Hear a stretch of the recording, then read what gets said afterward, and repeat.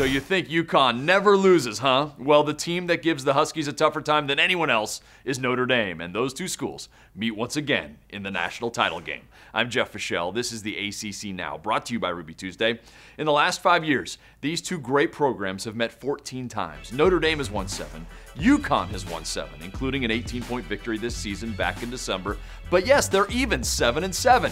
In fact, the Huskies have just 12 losses total in the last five years. Seven are to Notre Dame.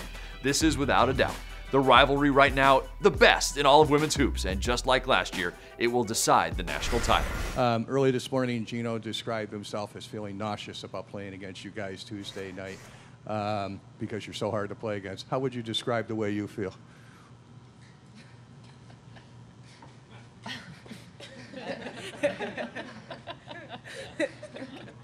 You know, I, I agree that we're, we're, we have so many similarities. We've played each other so much, and uh, you know, I think it's become such a great rivalry that it's it's a game that I really enjoy because it's it's the two best teams right now going at it and battling, and uh, you know, they're they're a very difficult team to match up with. Um, they they do present a lot of problems for us defensively. And I mean, you have to be able to withstand their runs and, and try to make some of your own. But uh, overall, I think it's a great game for women's basketball. Who wins this time around? Tweet us at the ACCDN.